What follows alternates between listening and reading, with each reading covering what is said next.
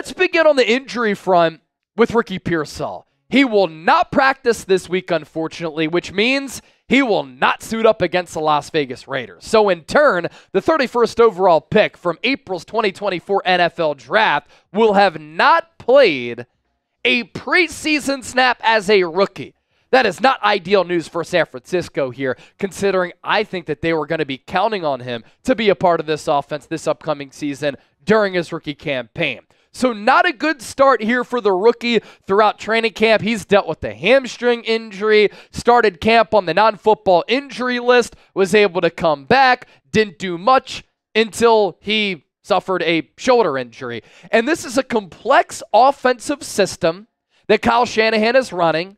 We know that Kyle Shanahan is very tight and runs a tight ship as far as rookies playing for him from the jump, whether it be on the offensive side of the football or the defensive side of the football, because he needs to know and make sure that those rookies are ready to go and they're not going to mess up. Costing the team on any given play, any given down, any given game. And then when you think about the position that Ricky Pearsall plays, this Niners team is very deep at wide receiver.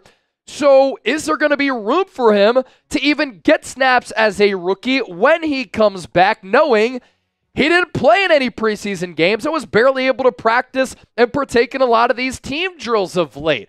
There's that obvious acclimation period to the National Football League, and Ricky Pearsall hasn't had that acclimation period. So you wonder now what his rookie year will look like. Will he contribute, or will this be a redshirt year?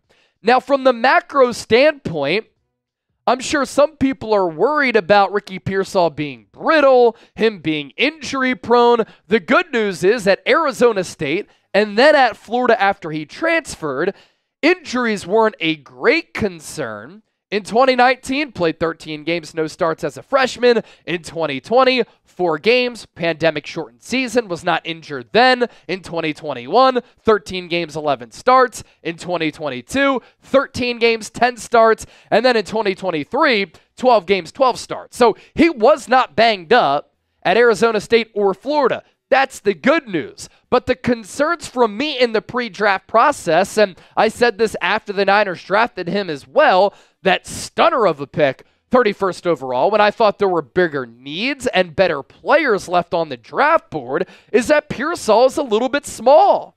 So I wasn't sure then, and I'm not sure now how his body type is going to hold up and translate to the NFL level.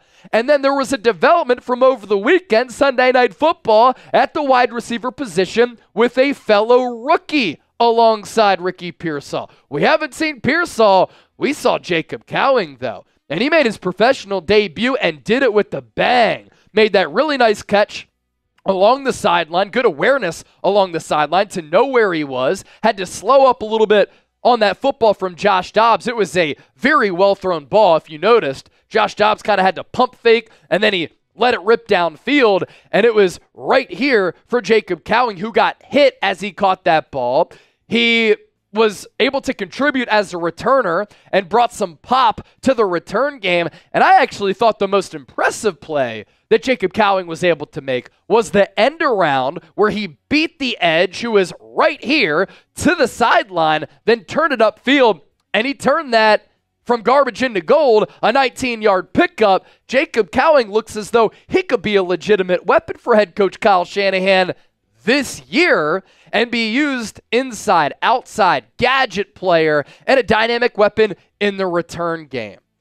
Other players returning to practice this week because Jacob Cowing returned to practice last week and put together a couple of really good practices. Running back Isaac Guerendo, we haven't seen him in a long time. He got injured, I believe, the first practice of training camp, another hamstring injury.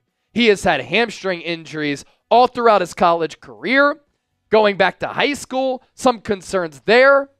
And he's a speedster, a trackster who keeps being held back by some hamstring ailments. Running back Patrick Taylor has missed some time. Not sure why. His injury has never really been disclosed. Spencer Burford broke his hand. He went out of the lineup. Dominic Puni stepped in at right guard because of an injury also to Jon Feliciano. More on him coming up later here on the show. And Dominic Puni now is not going to relinquish that job. He's going to be this team starting right guard week one against the New York Jets, but it's good to get some depth back in Burford because Feliciano is going to be out a little while. And then Ben Bartch returning to practice as well, a backup center and guard. Next, Talanoa Hufanga. Positive update on this front. He visited with his doctors last Thursday, and he got some good news from that visit. He will not return to practice this week, but Kyle Shanahan saying today on this Tuesday, August 20th of 2024, that there is a chance that Talanoa Hufanga returns week one against the New York Jets. And the safety position for San Francisco is certainly an interesting one. I think Ji'Ayir Brown is due for a breakout year. George Odom traditionally has been a special teams player, but he has had a really good training camp as just a straight up safety, making plays on the football, looking comfortable back there. Malik Mustapha, the rookie, fourth round pick out of Wake Forest. He's physical, he's versatile, he has range. You can use him as a chess piece on that defense. I think he's a really intriguing player. So, what are the Niners going to do week one at that safety spot? It's to be determined because of the health status of Talanoa Hufanga. And going back and circling back to Jon Feliciano, had to undergo surgery on his knee. The Niners did not release what type of knee injury he has been dealing with all throughout training camp. He will miss, though, about half the year. And Kyle Shanahan saying he probably starts the season on injured reserve. Before we continue to move forward and coming up next, another Brandon Aiyuk update. Niners Raiders Friday night. I know it's the preseason, but San Francisco is expected to play their starters.